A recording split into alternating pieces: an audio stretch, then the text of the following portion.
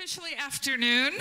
Um, I'm Jill Erickson. I'm head of reference and adult services here at the Falmouth Public Library. And I am so delighted to see so many of you here this afternoon. We are very excited ourselves as well. I have no doubt you are excited, and so we will get quickly through the introduction. Elizabeth Berg is the best selling author of more than 30 books, and we are so thrilled to have her here with us this afternoon. This event is part of her New England Library Tour. A special thanks to our wonderful friends for making this event possible, including the Library Board of Trustees, Eight Cousins Books, FCTV, our staff, and our wonderful patron who brought Elizabeth's tour to our attention. We could have not done it without all of you. Please, no flash photography this afternoon. And I do want to show you the emergency exit, which is to my right. You will never normally have to go through that door, and we have every reason to believe you will not need to go through there this today. The actual door, of course, is over there, and that pantry door also goes. And let us not forget we have windows as well. Uh, so with that all being said, we will lighten the mood here and we welcome with big hearts and a big round of applause Elizabeth Berg.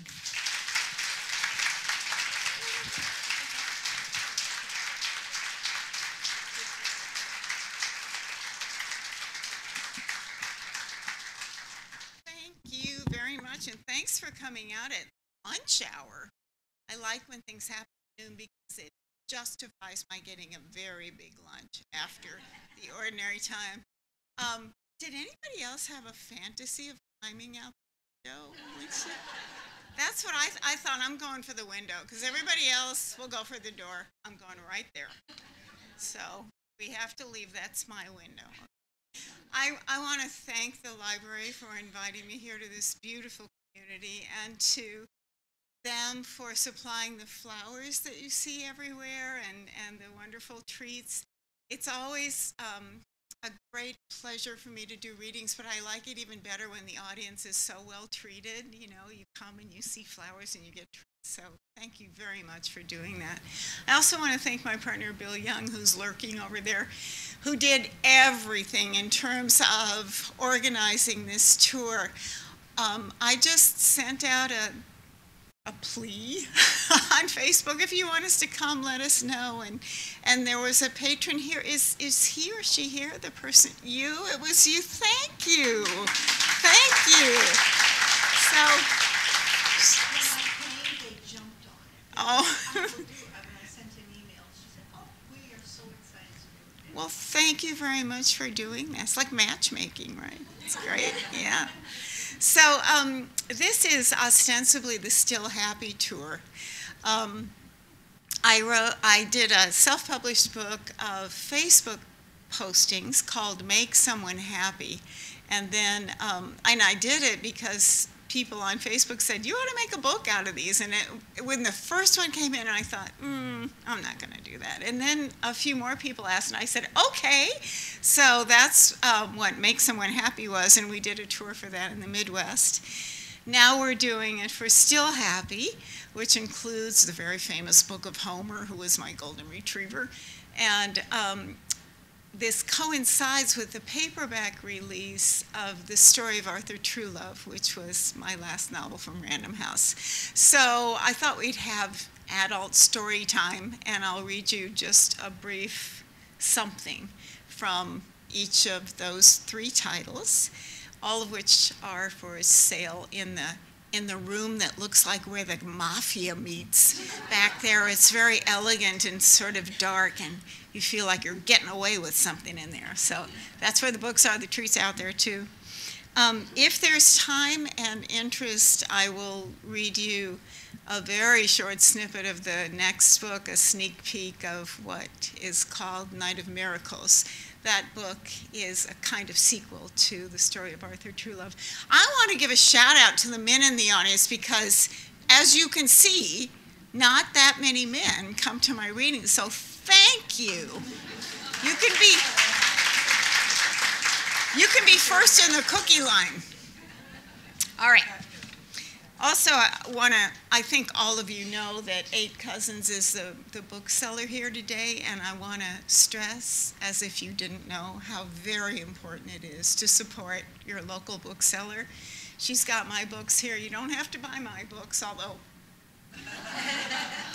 don't have to buy my books, but buy something from her. She, she, go to her store and buy something. We got to keep them in business. Okay. This is my elegant book bag, which I got at Tiffany's, and that takes a lot of work to make it look like CBS. I think I'm going to start with um, just one scene that happens to be my favorite scene in the story of Arthur Truluv. Arthur is an 85 year old man whose wife died recently, and he goes every day to have lunch with her at the cemetery and to visit her. I would like to point out that I began writing this book long before the story of, or the Ove. What's the name of that book? It's Ove, but it's but what's the whole title? A man called Ove. For for the people who say, well, she just took that idea. No, no, I wrote it first. The old man and the cat part. Anyway, Arthur is an old man, and he does live with a cat named Gordon. And his next door neighbor is named Lucille. She's a kind of cantankerous woman, but you like her anyway. She's 83, and they often sit out on the porch and, and talk. And Lucille has sustained a, a loss, and she's kind of down in the dumps. So this is a conversation that they have in their rocking chairs. Lucille says, It's so embarrassing to be useless. Why, you're not useless, Arthur says. Yes, I am. You're just going through a hard time. Yes, I am, but also I am useless. I do nothing. I realized this was happening some time ago, everything falling off, but I made do. I had church, I read books in the paper, I had my garden, but all the lights are off now, and I really don't want to live anymore, Arthur. What's left for me now? I am useless, and so are you. Arthur straightens in his chair, indignant. I'm not useless. You are too. All you do is go and visit your wife at the graveyard every day. That's all you do. Well, first of all, I don't think it's useless to visit Nola. It is my great pleasure and honor to go to the resting place of the finest woman I ever knew and think about the boundless glory of my life with her. Okay, I'm sorry I said that. I know how you feel about Nola. I know how much it means to you to go and visit her. No, you don't, Arthur says. Nobody knows how much it means to me except maybe her. And apart from that, I am not useless. But what do you do? Arthur rocks for a while. Lucille's chair has gone still, but Arthur rocks for a while. Let me ask you something, he says finally. What? Did you ever hear anyone say they wanted to be a writer? Yes, I've heard lots of people say that. He stops his rocking to look over at her. But what we need are readers, right? Where would writers be without readers? Who are they going to write for? And actors, what are they without an audience? actors, painters, dancers, comedians, even just ordinary people doing ordinary things. What are they without an audience of some sort? See, that's what I do. I am the audience. I am the witness. I am the great appreciator. That's what I do, and that's all I want to do. I worked for a lot of years. I did a lot of things for a lot of years. Now, well, here I am in the rocking chair, and I don't mind it, Lucille. I don't feel useless. I feel lucky. So that's um, just the brief. Oh, thank you. Um, so make someone happy. Um, I told you about it's uh, it's um, Facebook postings that are collected into um, a little. Oh. That's not the one I want. I lost, okay. Does anyone have this book right now? Do you? would you do me a favor and flip through there and find something called Dinner Party, which I lost the place of? And I'll read. Oh, I found it. No, That was just that was just a test. Thank you for volunteering. Anyway. Did you smell it? I love that so much. I'm going to give you a microphone. okay. How many of you just love to have dinner parties? That's what I thought. That's what I thought. Okay. Those of you who raise your hand, well, goody for you. And this is for the rest of us. I had a dinner party the other night and was a nervous wreck beforehand, bec- even though I had decided to make food I was completely comfortable with. Food is like a horse. If it senses you're nervous, it will misbehave. It's going to be retro night, I had gaily told my guests, and so I made butternut squash soup, little individual barbecue lemon meatloaves, mashed potatoes, green beans, and an apple pie. But when I checked on the baking pie, I saw the top crust separating from the bottom, and juice was running out all over the place. I thought, what the? And then realized I'd forgotten to put in the thickener. I called my friend Phyllis, whom I'd already called in a panic about how much cheese to buy for appetizers and how long to wait to serve dinner after the guests arrive. And why do people have dinner parties anyway when it makes you such a nervous wreck? And she answered her phone by saying, Now what? I told her that I'd screwed up the pie and that also I didn't have a big enough tablecloth and so had covered the table with a bunch of on point vintage tablecloths. That sounds great, she said. Really? I said. And she said, Yeah. Can you come over? I said in my little voice that I use when I'm feeling sorry for myself. I wish I could, she said in her soothing, motherly voice that she uses when she wants to sound soothing and motherly. I said I'd been going to make another pie, but I didn't want to. So I decided that I would just admit to the guests that I'd made a mistake and we'd have to eat the pie with spoons. Or, I said, I would tell them it was a fancy French version of an apple pie meant to be very, very juicy and eaten with spoons. Apple pie de plus jus Napoleon. Oh, don't lie, Phyllis said. They might know you're lying. Oh, they'll definitely know I'm lying, I said. But see, that will be part of the entertainment portion of the evening. Or maybe when I serve the pie, I'll say, you know, there's a tradition in quilting where you always leave a mistake in the quilt because life isn't perfect, but it's still good. And there's a mistake in this pie, but I'm going to serve it anyway because you all are my friends and I feel safe with you. Yeah, Phyllis said. And again, I asked her to come over. And again, she said no, she does live in California after all. And then we hung up. Well, when it was time to serve the pie, I said my little speech, and then guess what? The pie was fine. I don't know how that happened, and I choose to think it was a miracle.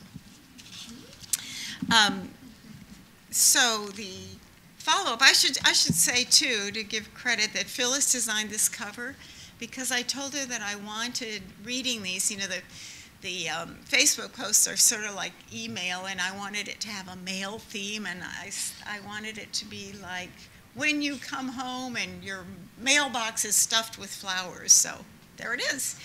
So when we did the next one, I said, How about fireflies? So that's what she did here. Um, okay, so still happy. This is called the drive-in. We used to go a lot when I was a kid. We had a station wagon, so my dad would put the car seats down and voila, a bed for when we kids got sleepy. We put on our pajamas, and when dusk came, we went to the land of gravel and gently sloping hillocks and metal speakers that affixed to the rolled down windows, which allowed the mosquitoes in, but one had then to, and now, suffer for art. After we found our parking spot, we kids raced out to the playground completely unembarrassed about being in PJs because all the other kids were there in their PJs too. Cowboy pajamas, roughly pink baby doll pajamas, boys wearing their dad's t shirts that came down to their knees. You saw it all. When the sky started darkening, the commercials would come on, interspersed with an image of a clock showing how much time was left before the show. Tangy hot pizza, the announcer would say. Ice cold Coca Cola. It was a bid to get everyone to go to the snack bar where the food was both terrible and irresistible. And we hardly ever got to go, so naturally I really wanted to go. But there we kids were running around the playground at breakneck speed hogging the little platform, platform at the top of the slide because then you felt like king of the playground, making the teeter totter jump, helping push the merry-go-round, difficult to do wearing slippers, and then movie time. We'd race back to the car and settle in and think, oh boy, we can stay up really late. But then we fell asleep pretty quickly. Cut to the teen years. Many of us got in free by hiding in someone's trunk. Many of us went on dates to the drive in and we never saw much of the movie. For the boys, it was a question of how much they could get. For the girls, it was a question of how far we would let them go. I found it nerve wracking. There you were in the middle of a great kiss, and here would come the wandering hands, and your antenna would go up, and you would have to make difficult decisions. The boys were in paradise, and the girls were at summit conferences. One night, a guy who wanted to go farther than I wanted him to said, Come on, I'm going to blow a gasket. I asked what the heck a gasket was, and that pretty much spoiled the mood. My taste leaned toward preppy guys in high school, but the best date I ever had was with this guy I met at Steak and Shake, who was practically a gangster. He pulled into the parking lot of the SNS in a chartreuse colored sports car with barf written on the side in yellow spray paint. You can see why I was instantly attracted to him. I guess I liked how boldly unconventional he was, driving around in jeans and a t shirt, his blonde hair hanging in his eyes. We had one date, and he took me to the drive in. I was very disappointed when he came to pick me up because he had greased his hair back and cleaned up and was driving a different car. But never mind. Off we went to the drive in, and he produced a six pack, which I declined, and he did not. And then we made out the whole time, and he was and is the best kisser I ever met. I went home with lips swollen to about three times their normal size, and I never saw him again. Sometimes I wonder, I wonder what was best, going to the drive-in as a kid or as a teenager. I guess I'd have to say as a kid, the pink clouds, the set, setting sun, the notion that you could be wild on the playground and then run to the safety of a kind of home furnished with an air mattress and a light summer blanket. Your parents sitting up in the front, and all you could see was the back of their heads, but you were pretty sure they were holding hands. It was a summer night.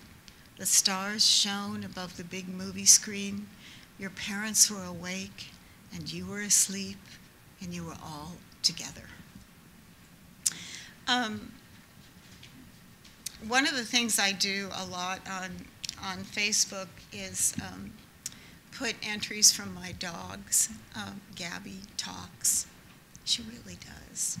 And um, so this is um, from Gabby at a time when um, Homer was going through a rough time. Gabby, I see that someone requested that I weigh in here amid all the Homer stuff, amid all the Homer, Homer, Homer stuff. Me, someone did say they'd like to hear from you. Would you like to say something? Gabby, let me sit at your desk. I've been practicing typing. Me, okay. I stand beside the computer. Gabby, looking up at me. What? Me. What? Gabby, don't watch. Go and make a peanut butter and jelly and grape jelly sandwich like you were just fantasizing. Me, how do you know I was fantasizing about that? Gabby, oh man, what you don't know about what we dogs know. But run along, let me talk to the people. Me, okay, but don't hurt my computer. Gabby, have I ever hurt your computer? Me, no, but you've never typed on it. Gabby, true, but run along. Hi, everybody. First of all, let me say that I'm so honored that someone missed hearing from me, as I have very much missed talking to you. The most exciting thing going on here is that I get to have hamburger mixed in with my kibble lately. I don't know how long it will last, and I don't want to jinx anything, so enough said. The other exciting thing is that the heat has broken, so I can lie in the backyard and wait for the dogs on the other side of the fence to come out.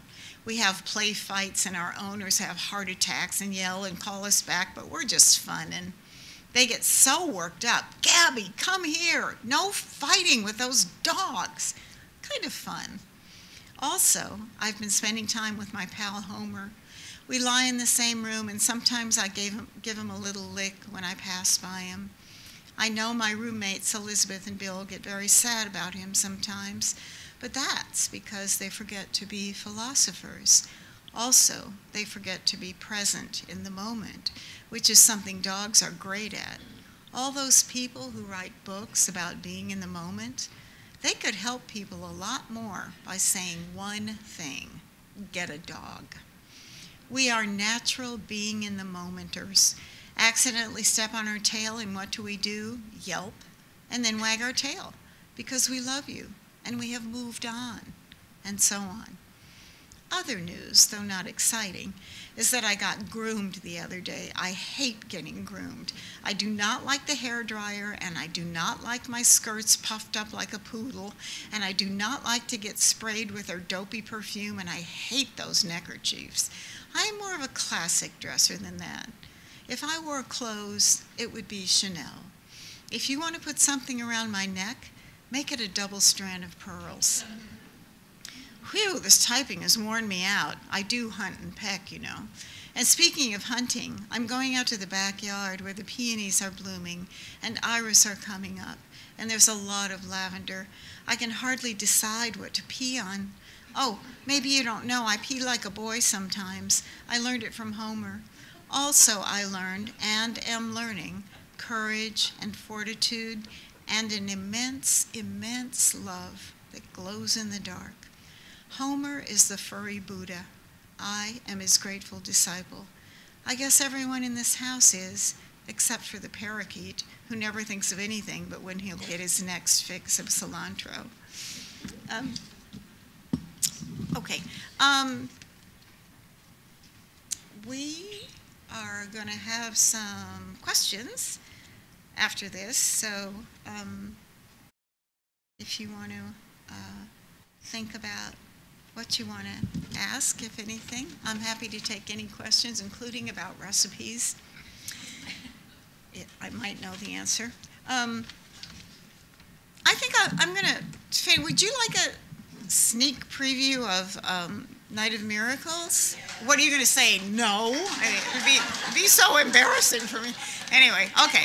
This is, this is, uh, this is pretty short. And um, this is Lucille, who's the, the character you heard about in uh, when I read from Arthur Truluv. Again, uh, a little cranky, definitely opinionated and blunt, but lovable anyway. After she has dried and put away her supper dishes, Lucille Howard goes out onto her front porch to stand with her hands on her hips, taking in a better view of the night sky. From the kitchen window, the stars were so clear they looked like diamond. Out here, it's even more glorious.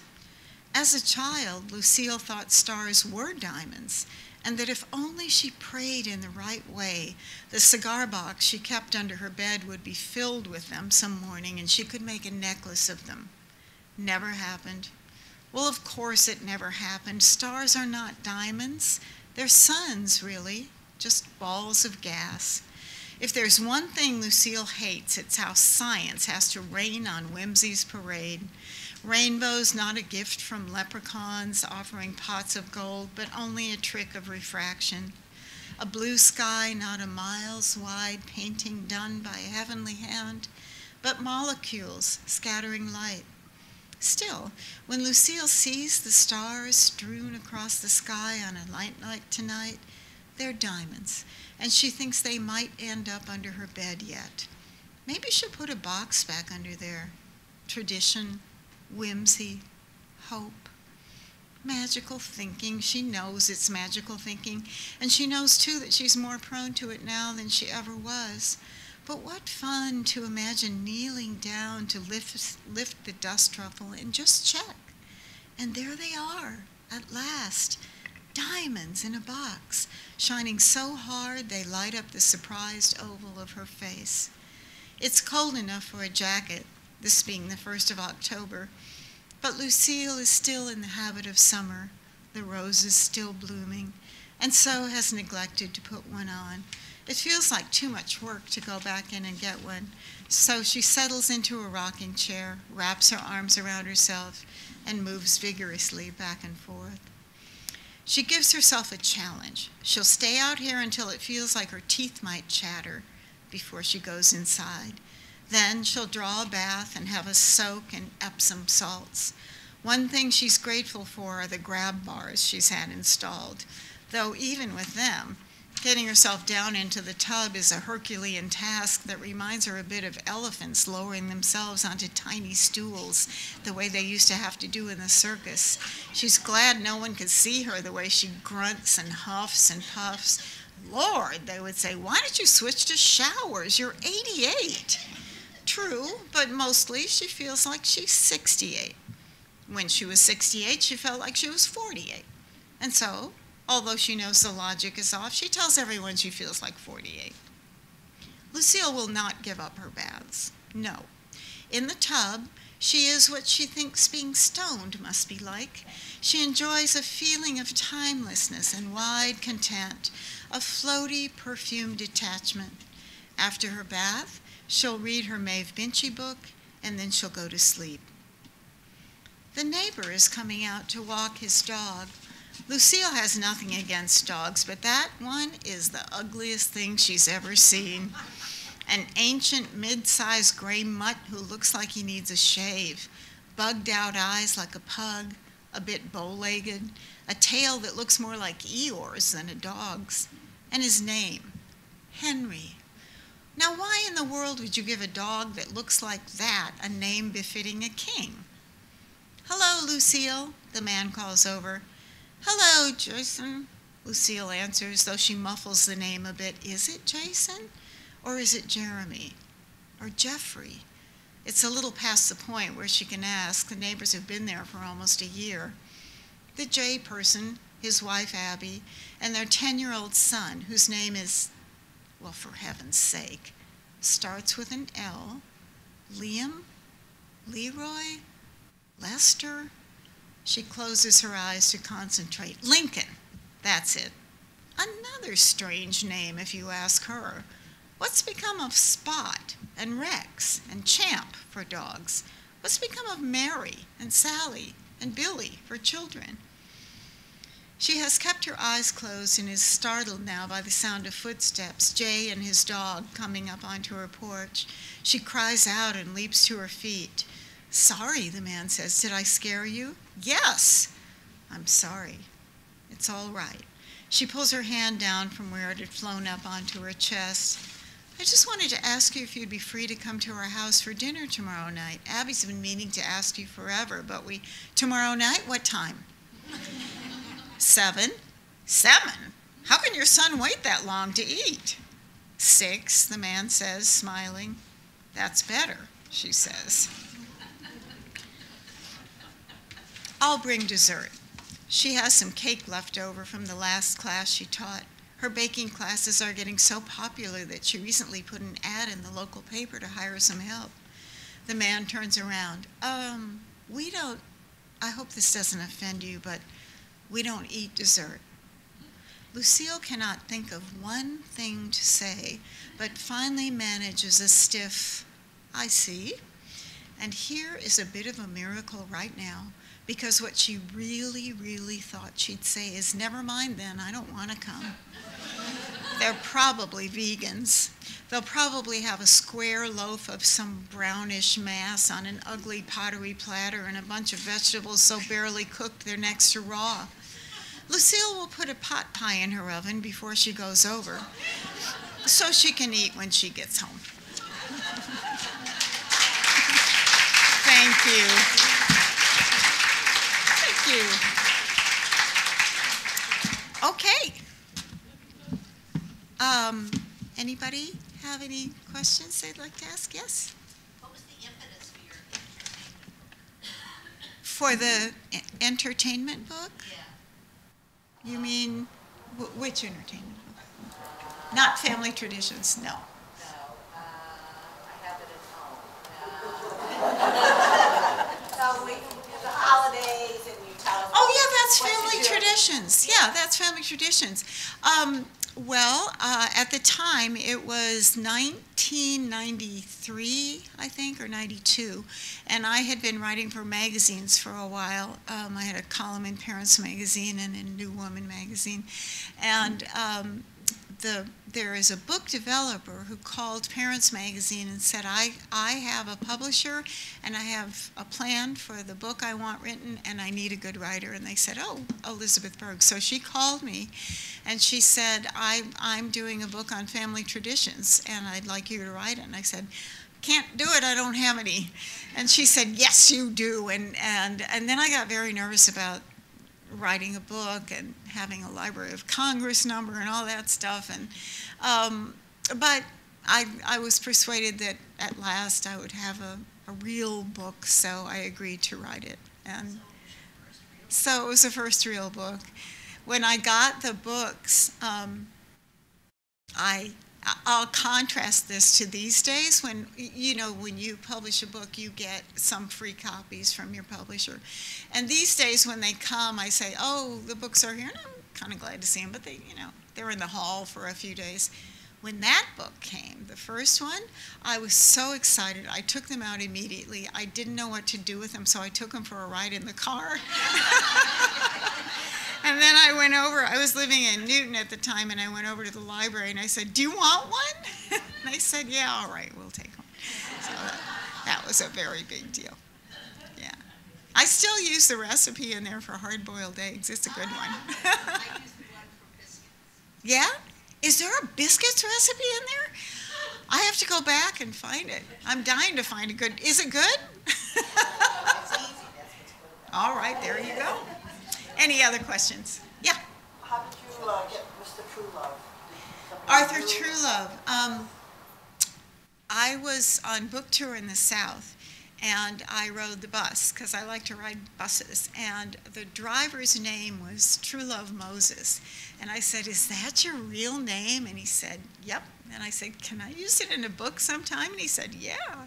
So um, it was going to be called True Love Moses, the name of the book, and then it morphed into something else, the story of Arthur Truluv. His real name is Arthur, and he is given the nickname Truluv by someone else in the book who is just knocked out by his great love for not only his wife but the world. Yeah. And and so um, when I started writing it, it was because I had that name in mind. And I, I guess I wrote about 15, 20 pages, and then I got another idea. It's unusual for that to happen for me. Usually I write a book straight through, but I got an idea to write about um, something else. That subject was, was really dark, and I was finding that I was coming into my office every day and feeling like, oh gosh, oh, I gotta go back to this dark place the world is a little tense right now, and I didn't want to add on to it. I wanted to be someplace where people were kind to one another, where you could depend on your neighbor, where you felt good about life, where you had a lot of hope, where you didn't back away from the things that happened to all of us, but you transcended those things. I, I wanted to be in that place, so I made it up. And um, it was such a pleasure writing that book. I, I, I just tore through it. And um, after it was over, I, I missed it. So I wrote another one, which is what you heard from. I turned that in. It'll be out in November, and then I wrote another one.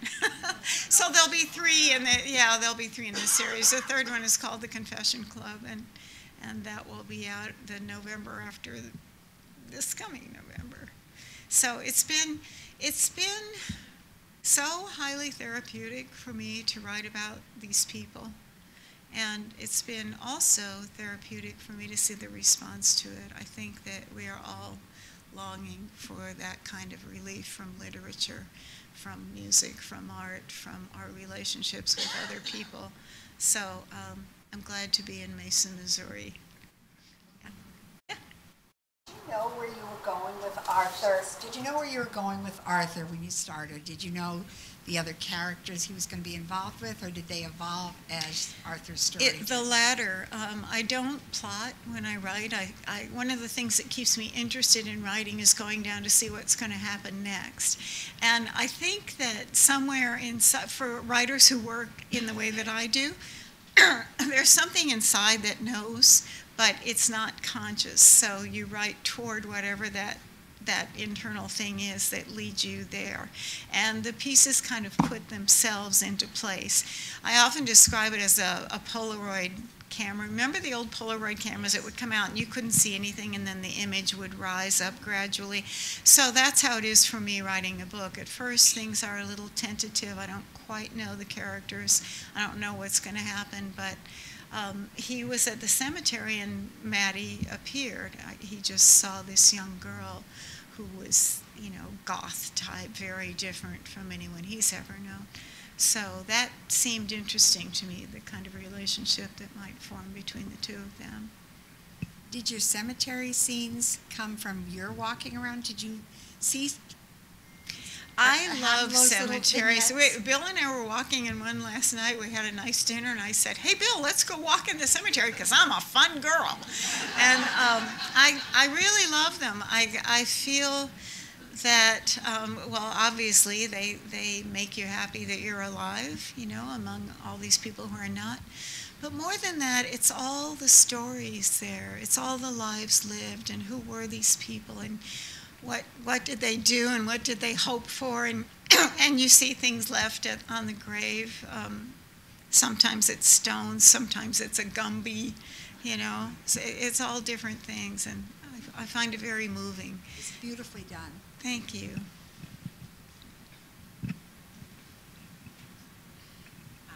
Hi. Having been a dog lover my whole life, um, I love the entries you had um, about Homer and Facebook, especially towards the end. I'm sorry to ask this sad question, but whenever I read them, I would just sob. Um, are they included in one of the Still Happy books? Yeah, the the this the Book of Homer um, mm-hmm. has all the entries about him, including when he was quite alive and well. And you know that business about crying. Um, I read this book um, for tape, and I could not stop sobbing when I got to that part, and I kept saying, okay, stop, I'll get myself together. And finally, I decided, why am I trying to hide this? Because really, it's a tribute to him, how much he meant to, mm-hmm. to me and to Bill. So I, I think for those of us who are dog lovers, we, we take it pretty hard, but it's also a very beautiful thing to take care of an old dog. Yeah. Really, I loved how there was one thing that you wrote that you just got right down on the floor with him. Yeah. And talked to him and yeah. how he talked back and yeah. and just kind of the same thing, being in the moment with him and kind of appreciating him. And yeah. so I thought I was so glad to hear this today that you had put those in a book. I didn't realize that until yeah. now. So I said, oh, good, I'll go back and read them and cry and, all over again. and, oh, there are so many pictures of him, too. I'll see if I can oh, find good. one here big enough to show you. But he was such a beautiful dog, and um, as you may know, I got him as a rescue, and he was Satan himself. he was a horrible he bit children. I mean, I, well, anyway, you can see anybody who wants to see pictures of Homer. It's it's in this book out there. He, um, I, I had a golden mix who who died, and I wanted another dog right away. So I got a puppy who wasn't going to be ready, and I can't stand not having a dog. So I looked in the newspaper just to see, and there was a year-old dog. I called the guy, and he said, "Oh yeah, he's great. It's just that we don't have time for him." And um, so I went to look at him, and when I got there, um, the the owner was not there yet there was a basement, you know, those slide out doors where you can walk outside so I could see in, and I saw the dog, and he was in a tiny crate. He couldn't stand up, he couldn't turn around. I, I just saw his face, and I could see he was wagging his tail, and I said, I'm getting you out of there. and whether whether he whether I ended up keeping it, that dog was not staying there. So um, I brought him home, and it was a very busy time for Billy, and he was all dressed up in his good suit, and Homer came flying down the stairs and jumped all over him, and I kept saying, he's a good dog, he's a good dog, he'll be fine. But um, I was putting away laundry very soon after I got him, and he came up and bit me in the behind, and he was not trustworthy around children.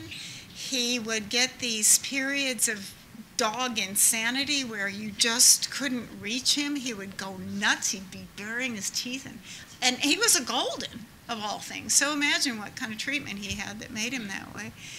But um, I could. I called the Golden Rescue League and I said, I, I can't handle him. I've had dogs all my life. I'm really good at training. I can't handle him. And they said, we don't want him.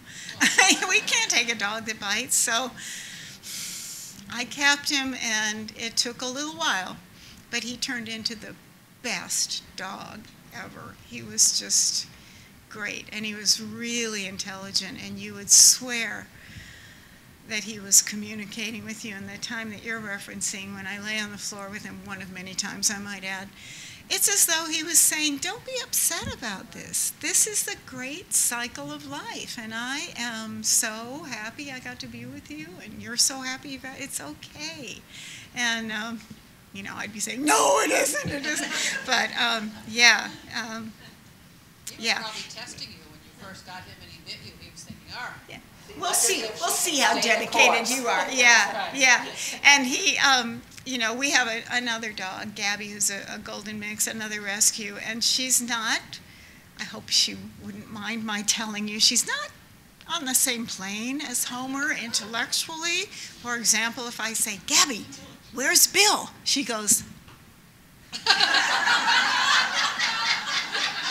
So um, it's, it's a pleasure of another sort. But she's very beautiful and sweet. And my, my grandchildren are here. They will attest to that. My beautiful daughter Julie, who I'll embarrass now. My, what's our relationship, BJ? BJ is Julie's mother-in-law. What's our relationship? I'm your Muppet Tennessee. There you go. That's why I don't remember it. Yeah, but they'll, they, they all know Gabby. Yeah. How long did it take you to turn him around? A year? Love. Excuse me, absolutely love. Yeah, it about a year, I think. Yeah, yeah, a long time. And it, and it, it wasn't easy. I mean, you know, I, I could, I couldn't trust that he wouldn't bite someone. So when I took him for walks, I had to rein him in, and I, I would take him to outdoor cafes, and he, you know, people would say, "Oh," and I'd say, "You know, especially children, don't, don't." Did you wrestle at all? yes. Yeah. When I took him out, finally, I did do that. Yeah, but he just came out of it. He was great. Yeah, he and he and he was 14. I got him when he was one, so we had him a long time. Yes, sir. Was it uh, much of a struggle to write about a goth teenager? I mean, you wrote it so well that the reader cares about her just as much as. Yeah, um, I would have to say no, really. Um, I think that one of the things that that I do, most writers do, and a lot of people do, is really wonder about other people's lives. You know, you see someone who looks interesting, and you start imagining what it feels like to be that person. So, if you want to write authentic characters, you have to become that character for that moment when you're writing them. excuse me, to the extent that you can. So um, yeah, I, I, I think that probably all of us can relate to those turbulent teenage years when you just sort of despise yourself and where she happens to be someone who's bullied in school. And I, I wanted to look at that too because I, I really worry about kids that that happens to. Uh, so um, she had a great deal of resilience, that character, but not everyone does. I gotta have a little vodka here. Excuse me. So you continue with Lucille. Does Maddie get worked into some of your Yeah. future books? Yeah. Maddie, Maddie is in Night of Miracles, and she's in the Confession Club a lot. Yeah. I, uh, we're not going to talk about that because not everybody's read Arthur. Okay. Okay. Hi. Hi. Can you tell me the name? I missed the name of the books. Uh, the Drive-In Story and Lucille. What are the name of the books that you read from? Drive-in. Drive. -in. The drive-in is in um, Still Happy, Still happy. Uh-huh. Okay. And the Lucille. and Lucille is in the story of Arthur Truluv, which Oh, okay, is yes, yeah, okay. which is this one, and and that one's for sale. But the one that she's also in will will not be out until November. Okay, I was uh, thinking about the, the one in the future because I've read Arthur Truluv. Okay. In fact, when I finished it, I turned around and opened the front page and read the Oh, you again. did? Oh, I loved, loved, Thank you loved it. very much. Thank you. Could you come on all the rest of the tour staff and say that? in- That would be great. Thanks. Yeah, We'll I make it comfortable for you. I've never done that with a book before. Oh, wow. Thank you very much. Yeah, um, it, here's, um, if you want, um, I bet you could pre-order Night of Miracles from you. Could they do that? No? Maybe? Yes? Okay, we got a nod there. Okay. Yes. How has your nursing, or how did your nursing career influence your writing? Absolutely. I, I still feel like I'm working as a nurse. I still feel that what I want to do when I write is comfort people. And um, also, when I was a nurse, I was very much interested in the lives of the people for whom I cared. It wasn't, I wasn't um, that much interested in the in the technical part. I have a very good friend I've had for for ever since 1974. We were nurses together, and she was a technical wonder. She knew how to do everything. Um, and I, I yelled at her about this, so I'm okay to tell you. But what she did not have was that interest in in their lives and also in empowering them because she was so good at what she did that when she would teach um, discharge planning, um, she would do the dressing. You know, the idea is the patient's going home, someone else will have to do the dressing change. So one time the husband was there and she was trying to teach him to do the dressing and she just grabbed it away from him and and you know then he didn't know how to do it so i was i was very interested in who these people were and how they lived their lives and that's what you do as a writer too is look inside other people's lives um, but yeah I, I learned a lot from nursing and one of the things was the first thing they taught us was to have unconditional positive regard for every patient for whom we cared for.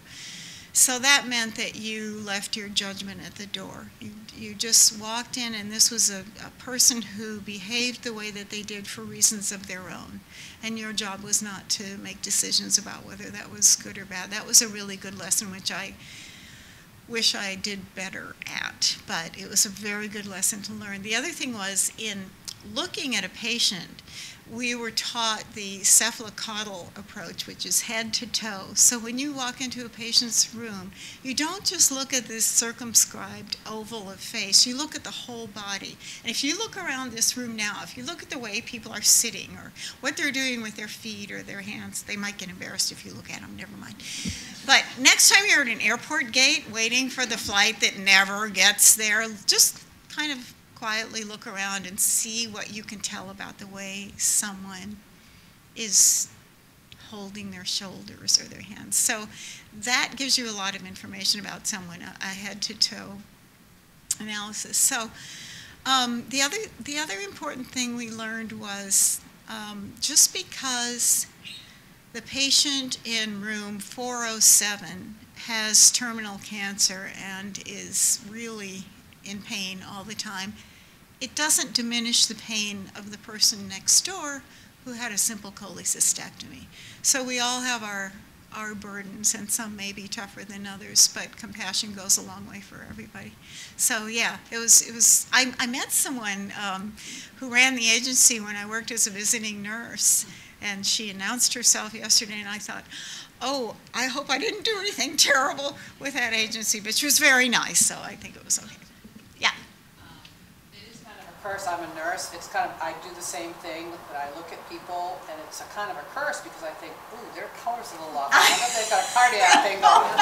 It's a curse, it really is. And it's come true a couple of times where I've mentioned to people that I know, gee, is your friend okay? And Yeah. Find out they're not and, you know. Yeah, so- yeah. But I, that came through in the yearbook, Range of Motion. Mhm. Um, just your, that nurturing by the nurses and, um, I don't know if anyone's read that, but it's one where the husband's in a coma. Is it the husband in a coma? I'm sorry? Is that Range of Motion where the husband's in the coma? Yeah. Yeah. That's And Range of Motion, That was just the most beautifully written book, but my question was that I, the very first book I read that was written by you was called Talk Before Sleep. Mhm. And I've never cried or laughed so hard as I did when I read that book. It was just, just this release of emotions, and I just wondered, I mean, in the way that you expressed the love between those friends, it, it just kind of blew me away. Um, but was there, I mean, did you have a friend like that? Yeah, I, Um, I lost a friend to breast cancer. She was 44 years old, a really vibrant personality. Um, and I never intended to write about that experience. But when everything was over, what I took away from it was immense sorrow, of course. I missed her a lot. I still miss her. But I saw the value of female friendship. I saw what women do for each other. And I remember I, I went on NPR and talked to Susan Stamberg, and, and she was talking about that, and, and she was kind of asking for a little more about that.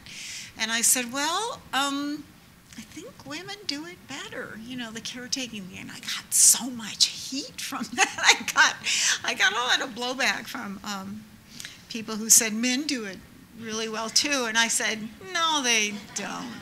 Not the same. Anyway, yeah. Yes. So one of my favorites is Home Safe, and I didn't realize your daughter's here, but when, in that book, when she's saying, Mom, Mom, Mom, I was wondering if That's her sister who did that. Oh. Mom, mom, mom, mom. That was just so funny, and Yeah. I just love that book. I've read it twice. Thank But I- you. That Mom, Mom, your voices of your characters just come right out. Did anybody else have da- daughters or children who did? Mom, mom, mom, mom. Oh, see? There you go. Huh. yes.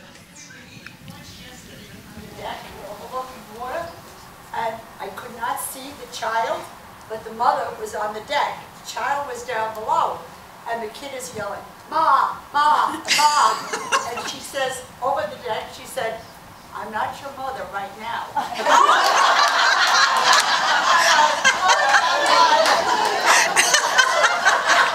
And two seconds later, you hear, Dad! Pretty smart. It's really funny. Yeah. Yes.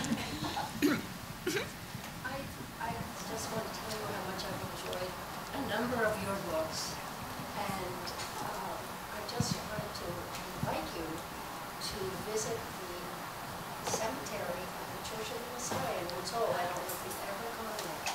I have It's not. of a parish cemetery and a town cemetery. And Are we going by Woods Hole? Anywhere near Woods Hole? We don't know. We don't know where we are. yeah. Woods Hole, before you go down into the Okay. Okay. Thank you. beautiful. There are a lot of dear friends of mine there, Mm. children and Mm-hmm. families. Mhm. I thought that might be a special place for Yeah, definitely. Yeah, thank you. Thank you. Okay, I think we have time for one more question. Okay. Yes. I'm just curious, um, you wrote a book, and I can't remember the name, of historical fiction about a famous, George Sand. yes. It's called The How did- Dream Lover. How did you do that, and would you do something like that again? I know it was a Um, I probably would not do something like that again because it was really hard. um, at the same time, I love doing it because I loved reading all the books that I did to write it. The the um, biography of Chopin, of of um, reading about all the other authors with whom she hung out, and her immense autobiography, um, History of My Life. Uh, it was hard, but it was, but I'm very proud of it. Um, but I, I think I'm, in the end, what interests me most are the smaller moments and ordinary people more than um, the famous people. So I'll probably stick to that to the end of my days. I want to thank every single one of you for coming. Thank you so much. Oh, if if you want, um, if you want a book signed, I'll be in the uh, in the mob room uh, with the books. So, thanks again.